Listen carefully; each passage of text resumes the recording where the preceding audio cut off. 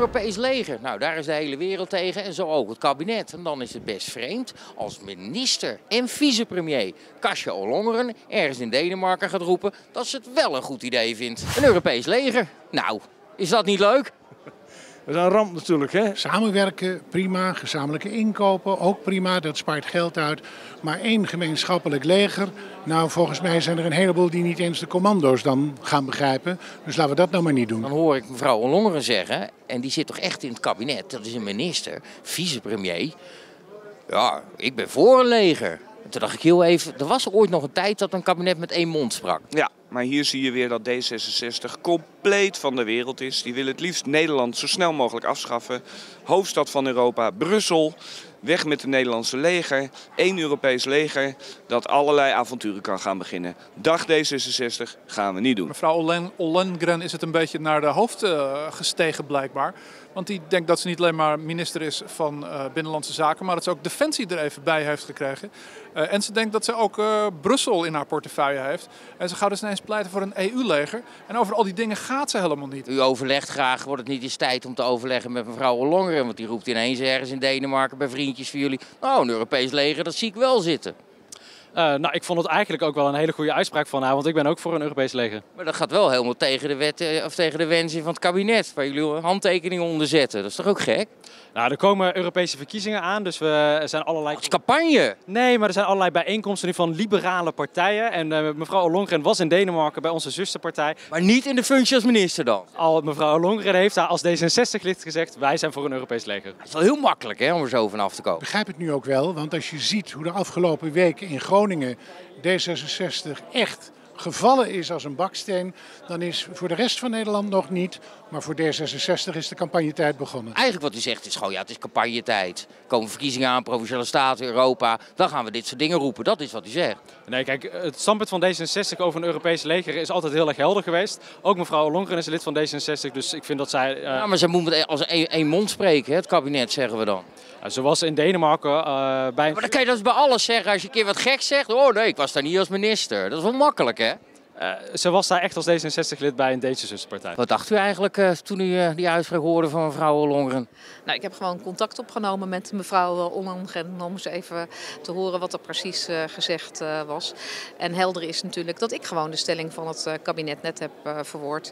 En dat het hele kabinet daar ook achter staat. Ja, en eh, vroeger was er ooit nog wel zoiets als met één mond praten met het kabinet. Is dat voorbij of zo? Nee, dat is er nu ook nog. Ja? Gehoord. Nee. Ik heb die ene mond vertolkt net van het kabinet hier in het parlement. En daar hoort dat ook eh, te gebeuren. In het parlement moet verantwoording worden afgelegd. En het kabinet is op dit terrein gewoon totaal één, eh, één, eh, van één opvatting. En dat betekent eh, dat als het gaat om eh, de inzet van, het, eh, van de Nederlandse krijgsmacht, eh, dat daar altijd de regering over eh, besluit en dat het gecontroleerd wordt in deze Kamer. En daar is iedereen, wij allemaal van het kabinet, zijn het daarmee eens. Ja, op eentje na dus. Nee, wij allemaal. Die staat toch heel wat anders te vertellen. En die staat daar toch echt als mevrouw Ollongren, vicepremier van Nederland, minister. Nou ja, dan moet u mevrouw of Ollongren... Ja, die had ik hier graag ook willen zien even vandaag. Maar ja, Ja, die heeft dan weer belangrijkere dingen te doen. Dan moet u naar Brussel. U moet van mij horen dat het hele kabinet eenduidig daarover denkt. En dat... Op één na dus. Nee, met z'n Zij zegt, toch- ze zegt dat toch dan? Dan kunt u toch niet zeggen dat iedereen hetzelfde zegt? Nou, Ik heb u de stelling van het kabinet en ook gecheckt met de vicepremier net verhoord. En wij allemaal eh, zijn deze opvatting toegedaan. Dit is duidelijk niet met één mond gesproken. Want dan had ze zich in ieder geval terughoudend erop gesteld. Minister ben je 24-7 en je kan niet zeggen vandaag zeg ik even een privé meningje en morgen ben ik weer een minister. kan toch helemaal niet? Je bent 24 uur per dag eh, minister en alles wat je zegt eh, vertegenwoordigt het kabinetsbesluit. Dus dit geeft gewoon weer eens aan dat ze niet het begin heeft gesnapt van, van staatsrecht. Ze weet dus niet hoe staatsrecht werkt. En let wel, dit is dus de dame die de basis van Binnenlandse Zaken gaat over de grondwet en de uitleg van de wetten. Huh. Hoe groot is de kans dat we ooit er toch ingerommeld worden in dat Europese leger? Want uiteindelijk ja, wordt het toch vaak wel wat, wat Europa wil. Dat gaan we doen. Nou, nee, hier is, is eh, A is de NAVO de hoeksteen van ons eh, defensie- en veiligheidsbeleid. Eh, dat is denk ik goed om te zeggen. Daar heb ik vorige week ook bij de begrotingsbehandeling uitgebreid met de Kamer over gesproken. En wij zijn heel erg als Nederland voor Europese samenwerking. Het is ook belangrijk dat we meer met elkaar meer investeren in defensie, ook in Europees verband. Dus daarom zijn we voor EDF, daarom zijn we voor, eh, ik vind het altijd een lastig woord, voor die gestructureerde samenwerking die we in Europees verband hebben afgesproken. Nederland trekt daar bijvoorbeeld het militaire mobiliteitstraject in. Dat is belangrijk dat we dat doen. Maar verder dan dat willen we ook niet gaan. We moeten goed samenwerken.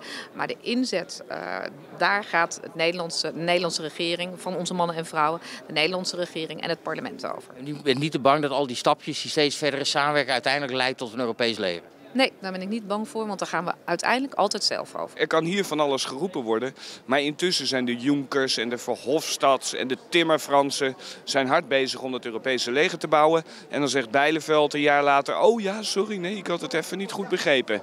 En dan zijn wij gepiepeld.